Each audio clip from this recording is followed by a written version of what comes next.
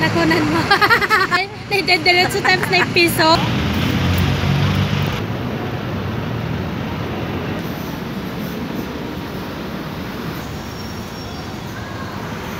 Magandang araw mga kababayan. Nakita nyo ito, napakaganda ng kinaroroonan natin ngayon. Ito ay uh, estero. Ayan po, kung makita nyo ito ay estero pero uh, meron siyang uh, ito, uh, daanan dito sa gilid. Ang tawag dito ay floating uh, sige lang, dito ay uh, floating bridge. Ayan, at may mga puno sa gilid. Ayan, guys. Ayan, 'di ba? Ang ganda. Ito, may mga halaman siya sa side, oh.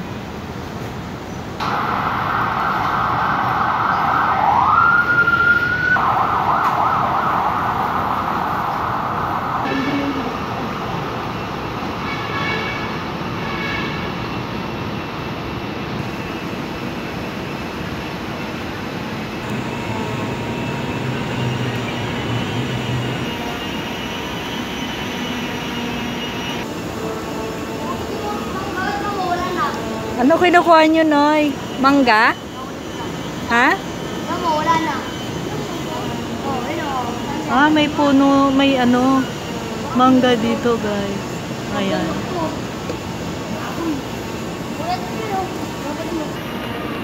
Ito guys, nandito tayo sa Estero de San Miguel po ang pangalan dito sa Estero na to.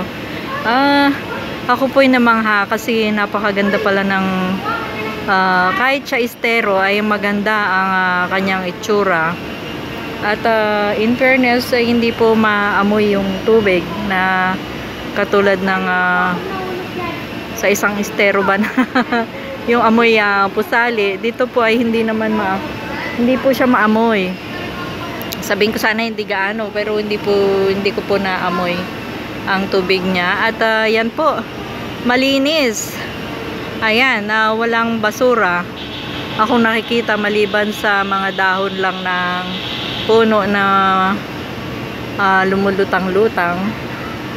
At ang ganda po niya kasi naarkuhan siya ng mga puno din. Na yan, mga puno ng mangga po, iba-ibang klaseng puno. Merong uh, ayan, yung kawayan. Yun. Yan, tapos uh, ayan nga po, naarkuhan siya ng mga puno iba-ibang klaseng puno. At ayan uh, ang nakaganda dito guys ay itong kanyang uh, floating bridge. Ayan, may tali sa gilid na kapitan ng mga kakapitan ng mga dumadaan.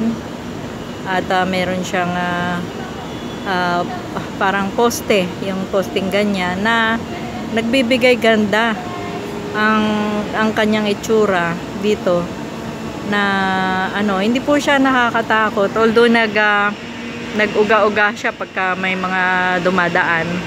Pero hindi po siya delikado na malalaglag ka kung iniisip mo malalaglag ka. Hindi po siya delikado.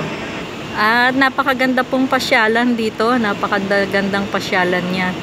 Itong uh, ano na ito, uh, estero na ito. Ito ang nakita kong estero na maganda sa lahat.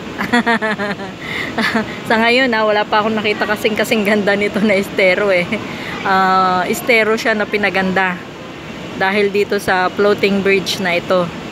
Ngayon lang ako nakakita ng estero na may uh, floating bridge. Ayan po. Ayan po yung kabilang side. Dito naman yung kabilang side. Ano po siya? Actually siya ay uh, daanan doon sa may kalsada doon at meron ding kalsada dito sa kabilang side. So, yun na yung daanan. Itong floating bridge ang uh, ginagawang daanan. Ito po yung pinakatali niya. Nakatali siya doon. Para siguro hindi siya maghiwalay. Yan. At dito sa kabilang side, ay nakaangkla siya sa tubig. Doon. Kaya, safety po siya. Hindi siya uh, makakalas kahit na maraming dumadaan may mga bata dito na naglalaro din Maraming mga puno ng ano, kawayan. Ayan, ayan oh, parang umarko na dyan sa daan. Pero dyan malalim dito. Ah, dito sa, gil sa gilid, ma Babaw. babaw. Sa gitna, malalim. Ah, okay. Ayan po, oh, nakaangkla rin siya dito sa, ayan. Tsaka ito. Oh! Tapos may mga puno ng ano, kawayan. Merong nakalagay dyan na paalala. Pinagbabawal ang pamimingwit o panghuhuli ng, is, ng ah, mga isda. Oh, may isda pala dito guys.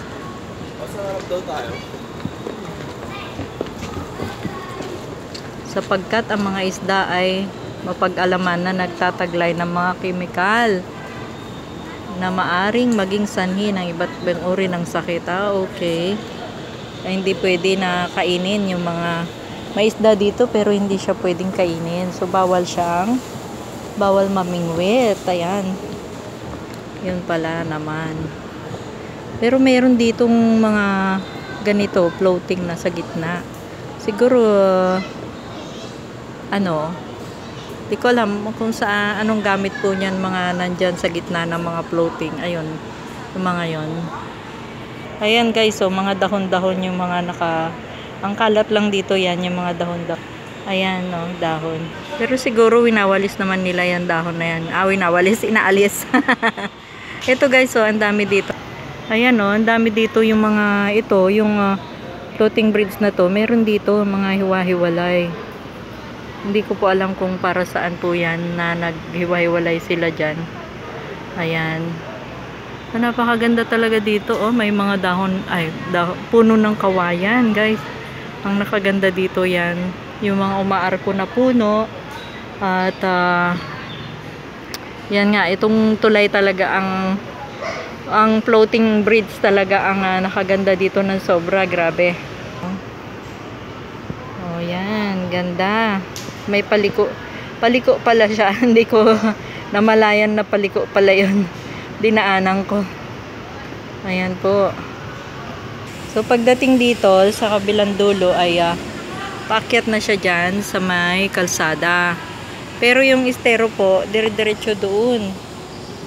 Ah, ayan, diretso ang estero. Pero merong mga halaman doon guys, oh. Ayan, may mga halaman naka floating na halaman. Ayan na natin. Ayan oh, naka-floating yung mga halaman. Mayroon silang nakapatong sila sa net. Ayan po oh. Ang cute din. Papunta doon. Ayun.